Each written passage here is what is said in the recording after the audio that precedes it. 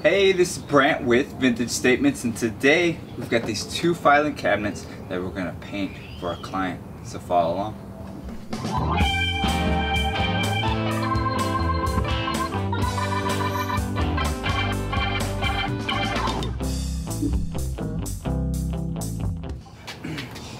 Alright, we stuck a bump on off the ground here so we can easily access the doors, get to sanding, painting, and we don't have to keep bending over to paint. We got them up off the ground here. So first thing we're going to do is remove the hardware, double check the drawers, make sure they're all in good shape, and then we're going to start sanding this piece down. So should be too bad of a project today. Uh, not much, not many parts or anything like that. So let's get started by removing those drawers.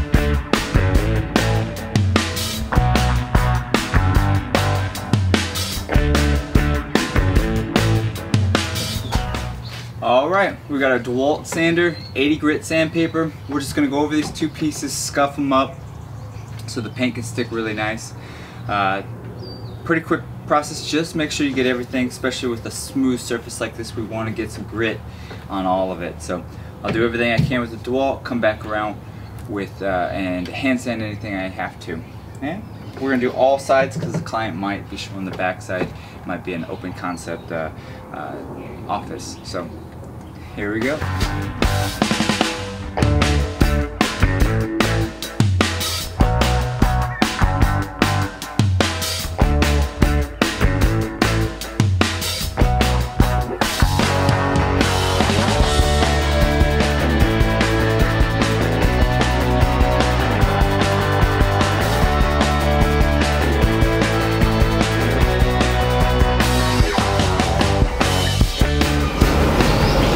Alright, we're moving along just fine here. Real quick, got the sanding down, we wiped it off, vacuumed it. Now we're ready to paint. So today, what I've got is an eggshell uh, by Behr Prime and Paint. It's called Blackout. Super dark, super love it. Now what we're gonna do is two coats on the drawers, two coats on all the frame there, and then we can start moving on to the next section. So let's get started.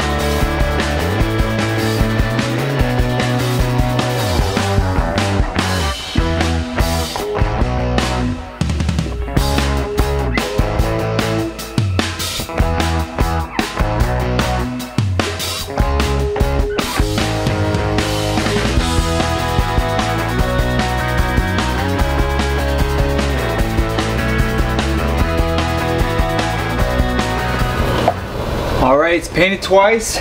Got a Varathane natural wax here. Got an old sock. We're just going to go over it, give it a nice little wax, and then we can start putting the hardware on and finalizing this piece. So let's get started.